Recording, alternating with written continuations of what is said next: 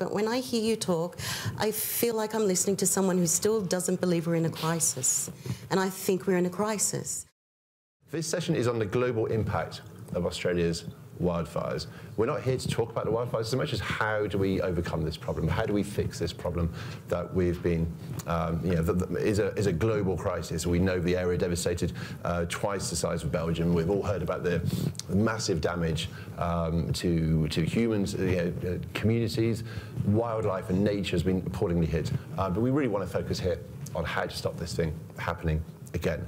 Um, very, very happy to be joined and, and, and proud to be joined by uh, Mathias Cormann, Minister for Finance, um, Leader of the Government in the Senate of Australia, uh, Carlos Afonso Nobre, Director of Research at Brazilian Academy of Sciences. And uh, Dr. Nobre, I'd love to hear your views and bring you in to talk about how we, um, your experience studying forests and their link between climate change and how we can, um, what lessons we need to be learning. And Lynette Wallworth, you're an artist uh, from Studio Wallworth in Australia, you're a cultural leader. Last night you were um, uh, named as one of our Crystal Award winners for 2020. The format, as I said, will hopefully be interactive. We'll encourage you to uh, ask questions, make comments. Just stick your hand up and I'll find a good way of bringing you into the conversation. What we generally do is start with a round of questions just to introduce our speakers and get the conversation going.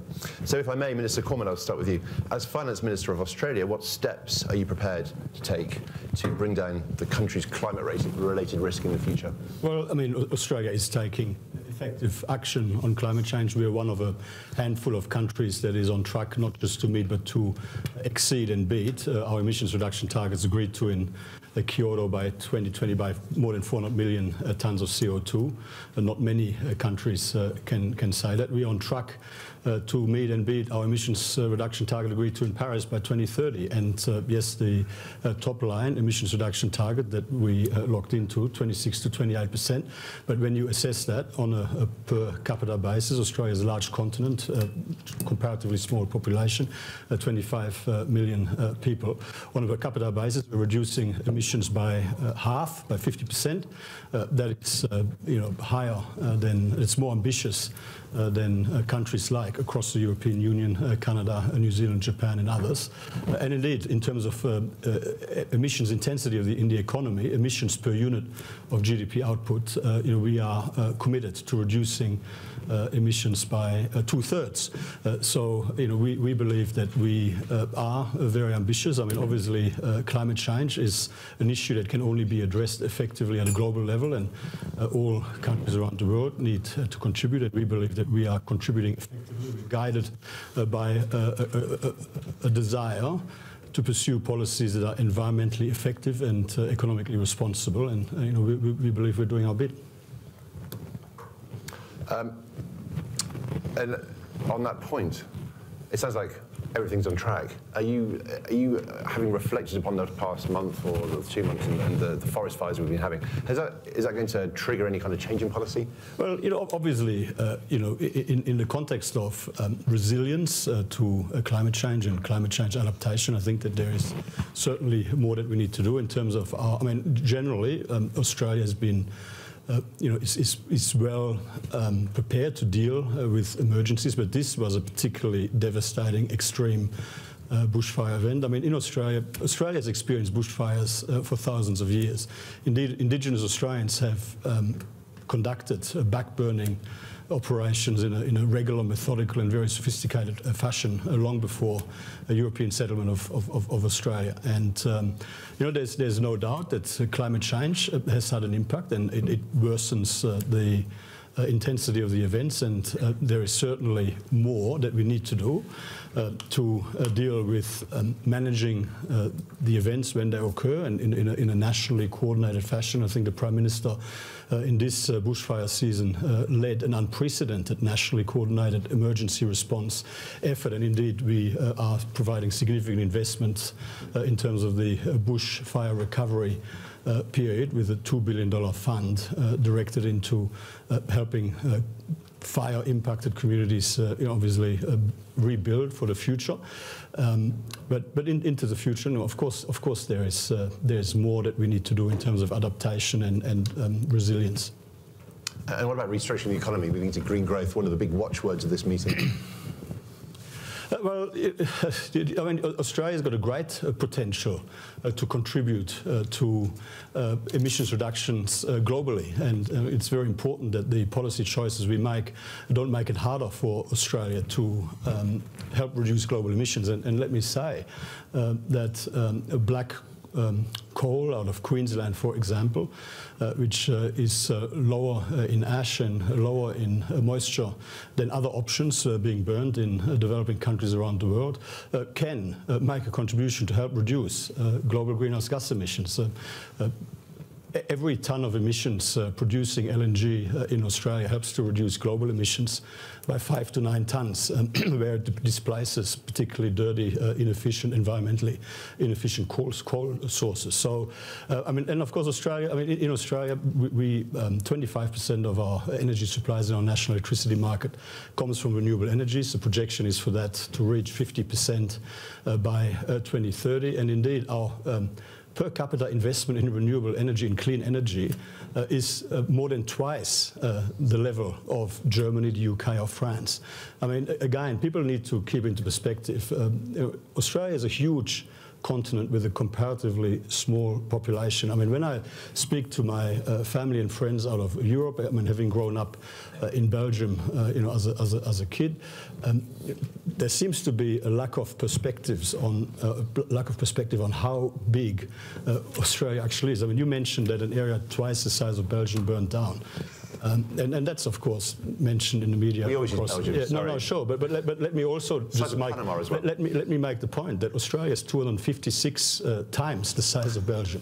Uh, and um, I mean, it's about 2% of the landmass of Australia that's been impacted by those fires, about 0.4% uh, of, of, of, our population. I mean, it's, it's devastating for those communities. And, and, you know, obviously our heart goes out to them. And on behalf of Australia, let me express our deep gratitude for the support, assistance and friendship that we've received from countries all around the world in the wake of these devastating um, bushfires. But, but it's, it's, it's important to um, also uh, look at these things you know, objectively and, and, and assess them objectively so that we can prepare our responses objectively some great points, which we'll undoubtedly come back to. Um, Lynette, let's go to you first. You said, if I remember your, uh, your speech uh, correctly, I believe you said we've seen the unfolding wings of climate change yesterday. So let's, let's, talk, let's unpack that a little bit and talk about your confidence in how we can avoid this situation and what needs to be done at the government level, what you'd like to see done at the community level, because as the Minister said, this requires all of society coming together to make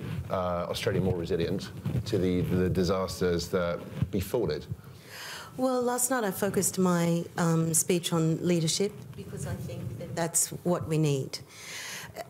You know, this is, we can talk about these figures, we can say 2% of the total of Australia, or we can talk about 30,000 koalas just from uh, Kangaroo Island alone, lost in the fires just most recently.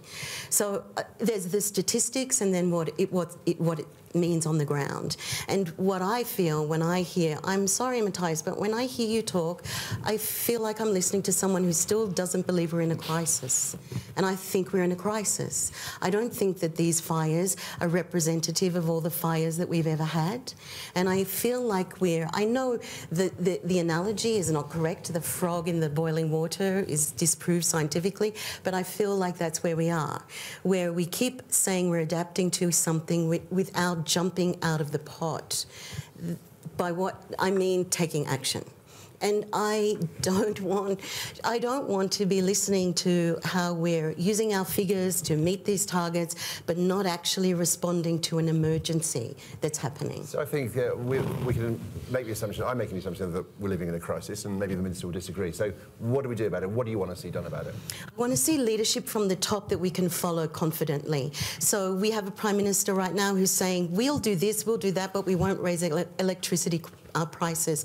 I will pay more electricity if it is into if it gives me the chance to use renewables and it shifts us away from this trajectory that we're on. Power, however, anything else we can. Uh, of course, there's a right to respond, but let's keep the conversation moving.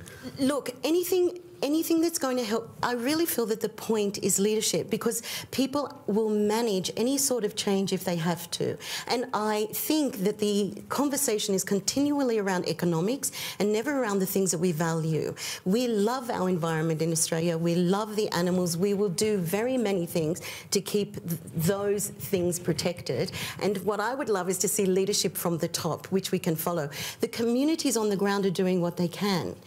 But um, we all know we are better. That's why we are here. We all know we are bettered by positive leadership that actually accepts what's happening and not trying to kind of always suggest that it's really not that bad. Okay, so less numbers, more, more, more less numbers, um, more listening. Minister, I'll let you get back to this, but first let's move to Professor Nobre, who's not Australian but has acquired over his uh, professional lifetime a huge, immense knowledge on um, the linkage between forests and, and climate change. And I want you to step in and give your considered opinion on what needs to be done, um, not just for Australia, because we have forest fires everywhere, know, not everywhere, but in, in, in, numbers of places in the past six months. Um, devastating um, impact on the environment globally. So let's not just focus on Australia here, um, but I'm very interested to hear what your prescriptions are. Yes, devastating forest fires uh, everywhere. Uh, in mid-latitudes and subtropics, they are uh, also there. Uh, the ecology is adapted to fire historically for millions of years. However, we are changing the basic state. And really, the uh, Australia bushfires show that we are very, very close to a tipping point. Uh, climate change is making higher temperatures, extreme droughts much more frequent. If we look at Australia, you know, six out of the 10 most severe droughts and uh, warm years were in the last 10 years. So this is climate change. There is very little doubt that what we are seeing unfolding is due to climate change. I'm not going to get into the meteorological complexities, why this is happening, El Nino becoming more intense, the, the Indian Ocean dipole becoming more intense. This is uh, meteorological jargon, but those things are happening. The, the big question is if repeated situations like that happen, the forest will never have time to readapt. So that's why, you know, and, the, and the, most of the Australian scientists, uh, very reputed scientists, are saying that for over 10 years. Uh, if we are unable to stop climate, global heating, many ecosystems will disappear in the future.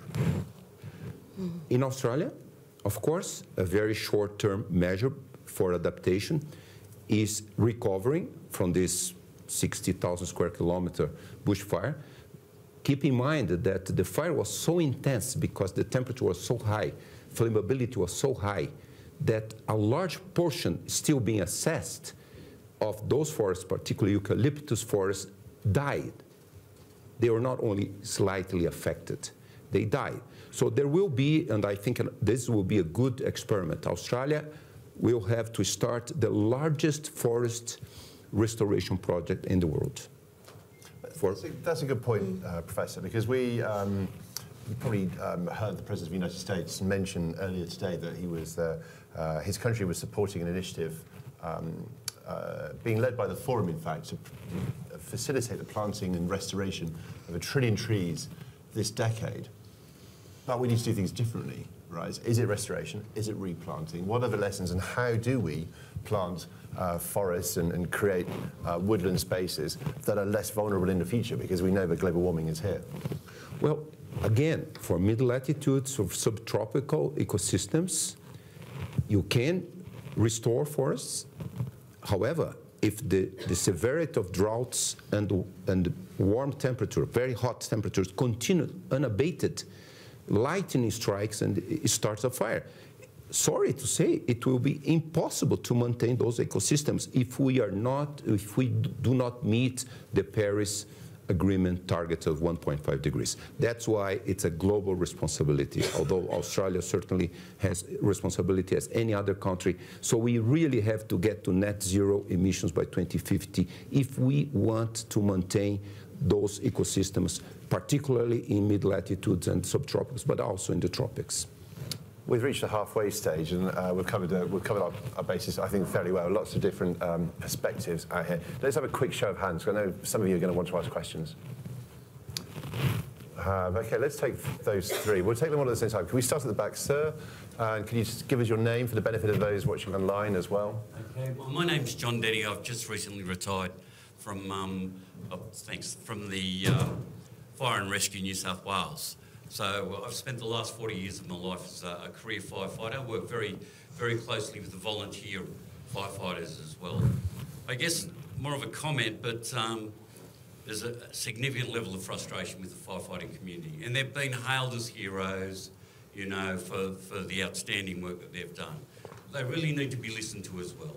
Climate change has been happening. There's been a couple of critical fires, 2003 in Canberra, 2009 in Victoria, that have rewritten the textbooks on fire behaviour. The fires we've experienced recently are different to any other fires we've had. One, they've been so geographically extensive, there's no capacity from other states to come and assist because all states are now at their maximum in firefighting capacity.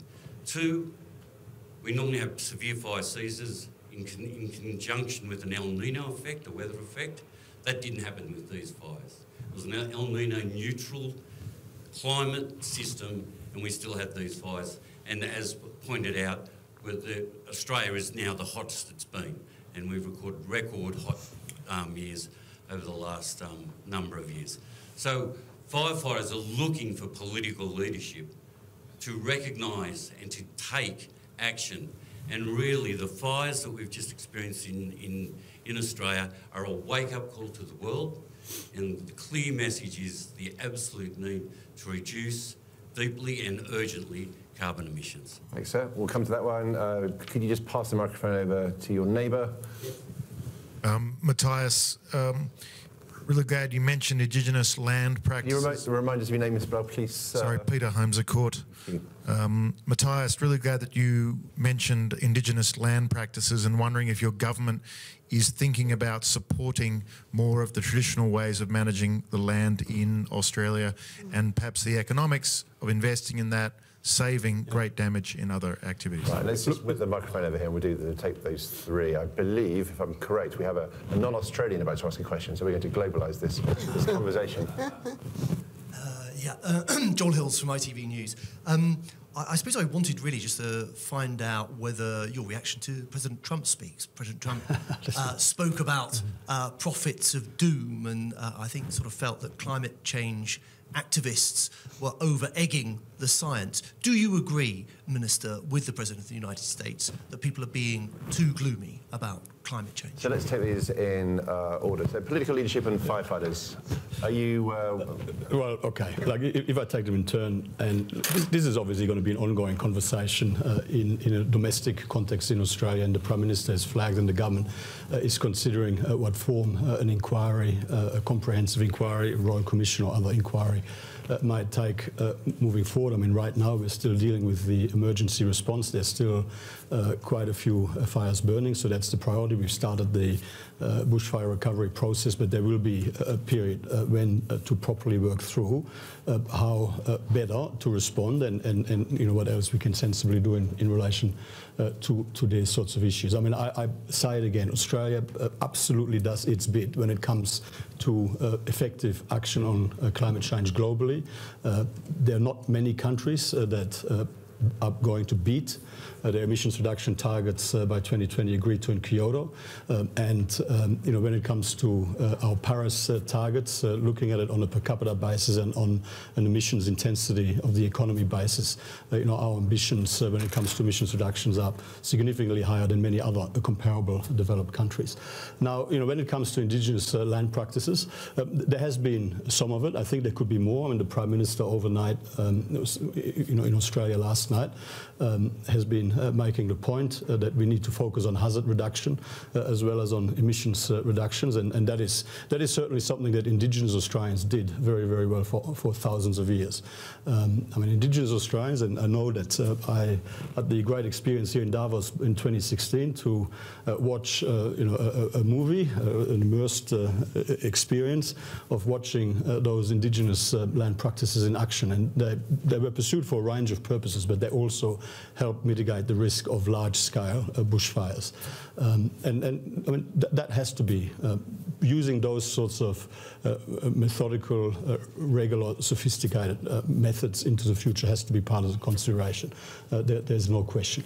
in terms of President Trump, I thought he gave a great speech. It was a very uplifting speech. He was obviously focusing on the great achievements of his administration when it comes to boosting economic growth, um, you know, in, in, in, the United States and some of the global issues and some of the global economic outlook. When it comes to um, uh, climate change, I mean, the Australian government's position is very clear. I mean, we are committed to effective action on climate change. We do understand that uh, climate change is something uh, that needs to be addressed. We also understand that the only way uh, that it will be addressed effectively is through a global response. And if we had a, a mature uh, global conversation about this, we wouldn't be um, doing constant finger pointing. We would actually be looking at how each country can best contribute, given the natural attributes uh, that uh, respective countries have to contribute to a, to a global solution. And we've always got to make sure that we don't have preconceived ideas on what um, blanket policy uh, propositions might uh, deliver the best possible impact because uh, you know carbon tax has, has been mentioned the price on carbon. When in Australia would actually make it harder for Australia to help reduce global greenhouse gas emissions. No question. I mean, we would be shifting economic activity uh, and jobs uh, overseas, where for the same amount of economic output, emissions would be higher. Uh, we would be uh, making it harder to uh, export uh, comparatively cleaner energy sources into developing countries around the world, where they are currently, and, and, can even more so into the future, are displacing less environmentally efficient energy sources. And that, that you know, obviously, uh, you know, whether from, from LNG uh, to uranium uh, to, um, to even to black coal compared to uh, brown coal options in other uh, countries, uh, as well as solar, wind, hydrogen, and all of this, all of these other energy sources. I mean, there's no question. And again, on a per capita basis, and I hear what you're saying. You don't like to talk about numbers, but it's very hard to talk objectively about an issue without mentioning numbers. There's no question that Australia is a world leader when it comes to per capita investment in clean energy. I mean, the level of investment in wind, in solar, uh, in, in, in, you know, the government is uh, pursuing obviously substantial investment and catalyzing substantial investment through the Clean Energy Finance Corporation uh, into clean uh, energy. I mean, there's, there's no question that, that we're a world leader when it comes to clean energy investment. There's always, you know, as technologies evolve and as, uh, you know, we um, technologies improve, there's always more and better things we can do, but, you know, we're committed. Uh, one of the questions, one of... So can I just come on, President Trump doesn't seem, sorry, uh, uh, back on the, the point about President Trump, uh, I take the points you're making, but President Trump doesn't seem to believe the science on climate change. Does that worry you? Uh, I, am not a commentator on uh, President Trump's beliefs. Uh, I was uh, in uh, the audience. I thought it was a great speech. Uh, it, was, it, was, a fantastic speech. It didn't worry you. I, I, I, thought he delivered a great speech about the economic achievements of his government, and I, think that's a great thing. Um, Professor Nobre, let's talk to you. Does it worry you that the President of the United States mentioned, uh, likened um, the, the, the, climate community as uh, to prophets of doom? well, of, co of, course, it, it worries all of us because since his election, his speech, you know, getting out of Paris uh, uh, agreement, that really sent a very bad uh, signal to many countries. I, I, think countries which were more committed to meeting their commitments to Paris Agreement kind of, you know, are in a position, uh, for instance, even China, uh, China should really abandon completely coal fire power plants if we want to reach 1.5 and even 2 degrees. And that would certainly affect Australian economy exporting coal. So I think you know this really uh, very very uh, trouble uh, political leadership coming from the U.S.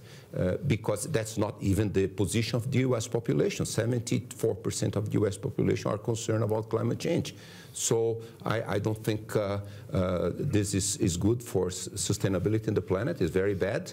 However, I think you know the population, particularly the U.S. population, will not really respond. And also, I, I'm not sure it's true whether uh, adapting or preventive adaptation will lead to bad or poor business. On the contrary, mm. uh, climate change gives enormous opportunities. And the, the minister here mentioned uh, renewable energy, which is generating hundreds of thousands of jobs a year in the, in the world, also in the, in the United States. So I, I don't think, you know, defending, let's say, coal uh, mining and a, a, very small community in the US really is, is good for the planet. Yeah, I would like to say something about that. Keep it quick if you don't mind. I'd like to do two more questions. Two things. I mean, there is the. I'm not against the numbers. I'm. I'm talking about values in addition to the numbers. I'm talking about how we weigh these things up. And we can say we're investing in renewables, but we've de-invested in re renewables. We can say that we're shifting, but we're opening large coal mines in addition to what we already have. So it's about where does this pendulum swing, where it shifts in the direction of where we are actually heading and not, and not continually trying to hold in balance things that may be incompatible for the future of entire world.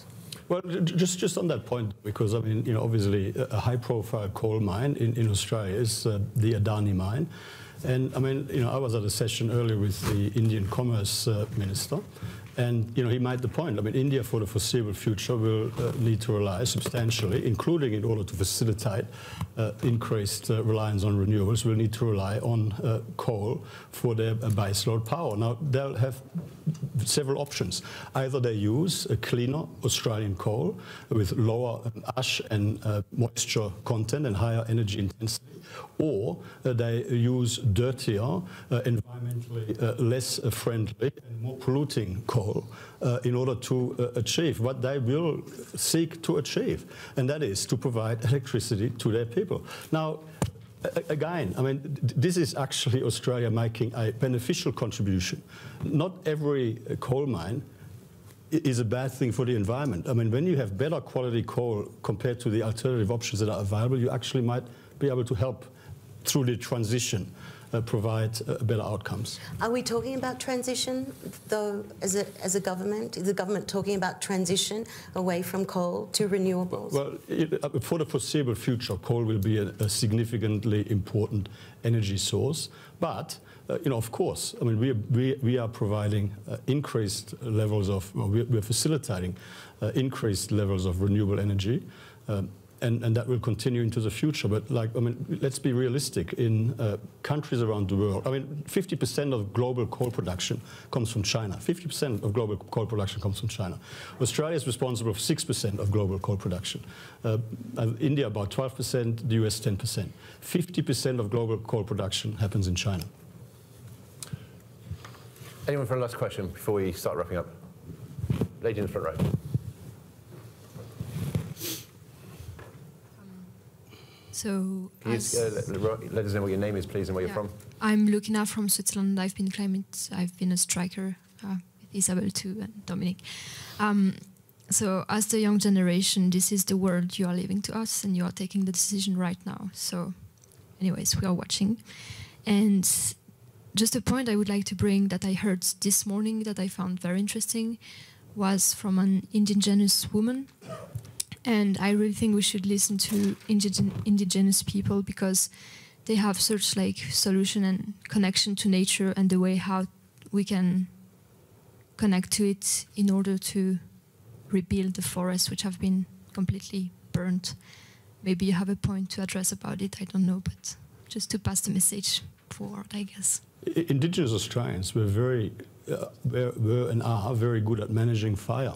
And you know, when it comes to hazard reduction burning, we could learn a lot of we could learn a lot from Indigenous Australians. There's no question.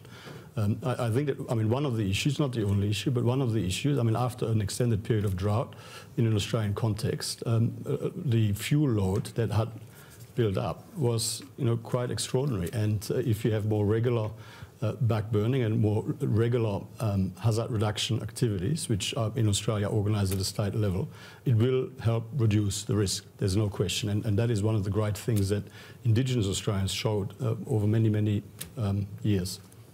However, just for a small point, uh, if we reach three degrees, which is the commitment of the countries towards the Paris Agreement, we're not committed to 1.5 or 2. If we reach three degrees, this year summer in Australia will be every year summer. And if that happens, even the indigenous communities are not used for 16,000 years with that kind of climate. They may be very ingenious and come up with ways, but I'm not sure.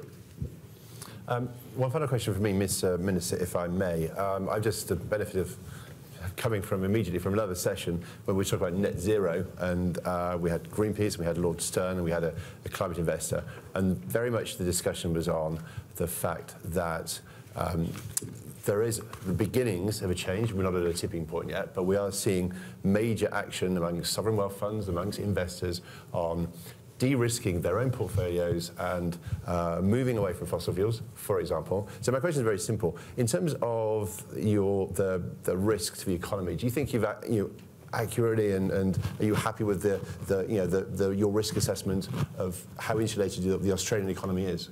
Well, I don't accept your analysis in terms of the nature of the Australian economy. And the Australian economy uh, is uh, quite diversified. Yes, we do have a uh, you know, significant component that is made up of the resources sector, of which the coal sector is a, is a, is a part.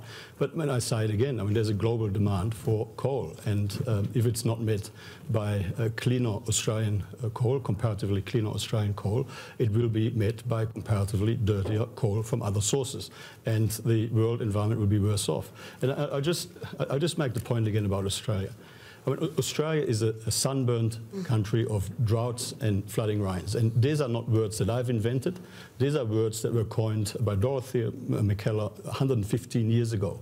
I mean, you know, we, we, we do have to, yes, climate change is making things worse. We do have to have an effective response to climate change. We do have to have uh, effective uh, strategies to increase resilience and, and to deal with hazard reduction. But we've also got to keep it in perspective to the, in, in, in the sense that Australia has always been a, a country that has, been, that has suffered extreme weather events on both sides of the spectrum. I think that's the challenge. That's the that's where we're, we're, we're poles apart. Because we can say this about our history continually, we can meet the challenge of this moment. And one requires a shift. And the shift in thinking is a thing that's very hard to hear from our, our leadership, I feel.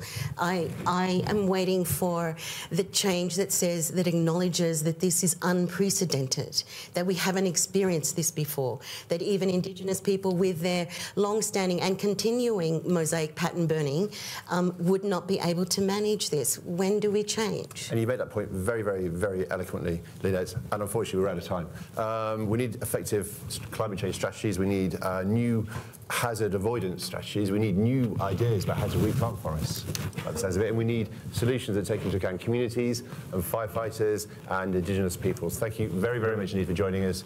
Thank you for watching us live online.